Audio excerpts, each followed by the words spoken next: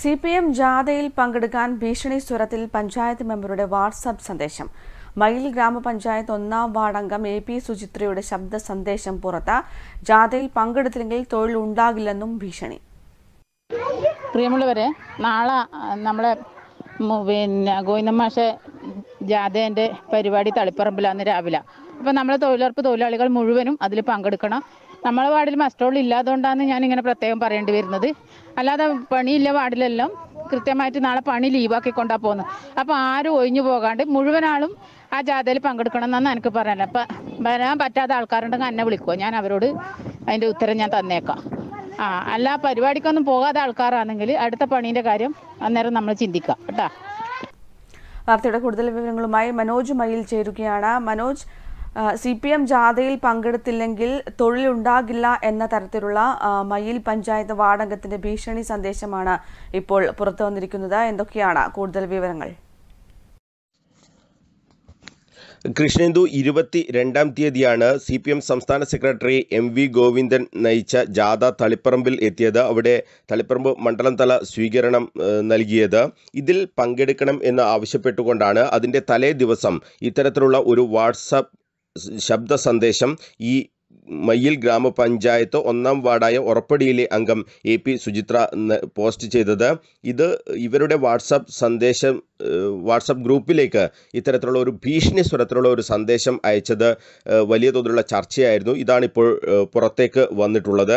എന്തായാലും ഒരു ഭീഷണിയുടെ സ്വരം ഇതിലുണ്ട്. അത് വ്യക്തവുമാണ്. അത് കേൾക്കുന്ന ആളുകൾക്ക് തന്നെ മനസ്സിലാകുന്ന തരത്തിൽ തന്നെയാണ് ആ ഭീഷണി സന്ദേശമുള്ളത്. വരാൻ പറ്റാത്തവർ തന്നെ വിളിക്കണം. അതോടൊപ്പം തന്നെ മറ്റുള്ളവരൊക്കെ ഈ പണി ലീവാക്കിയാണ് ഈ ജാഥക്ക് പോകുന്നത്.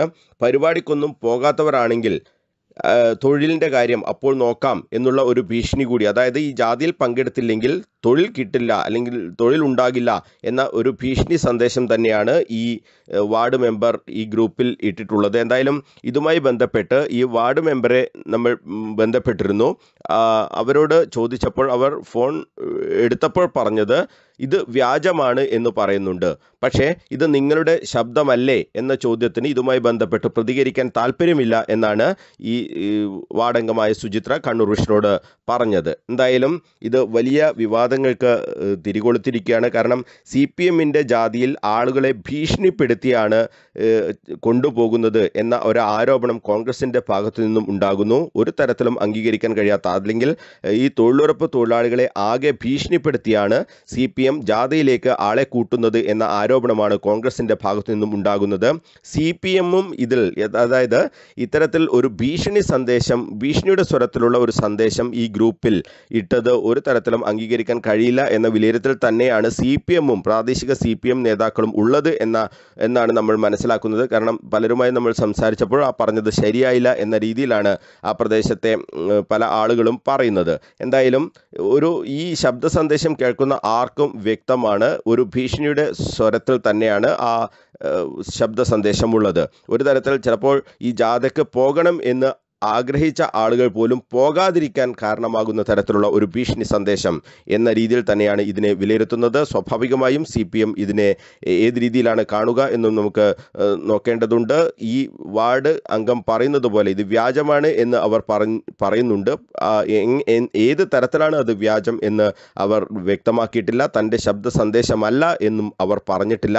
എന്തായാലും ഇത് വിവാ വലിയ വിവാദങ്ങൾക്ക് ഇടയാക്കിയിരിക്കുകയാണ്. തൊഴിലുറപ്പ് തൊഴിലാളികളെ ആകെ ഭീഷണിപ്പെടുത്തുന്ന തരത്തിലാണ് ഈ ശബ്ദ സന്ദേശം എന്നുള്ളതാണ് ഇതിന്റെ ഏറ്റവും പ്രധാനപ്പെട്ട കാര്യം. കൃഷ്ണേന്ദു.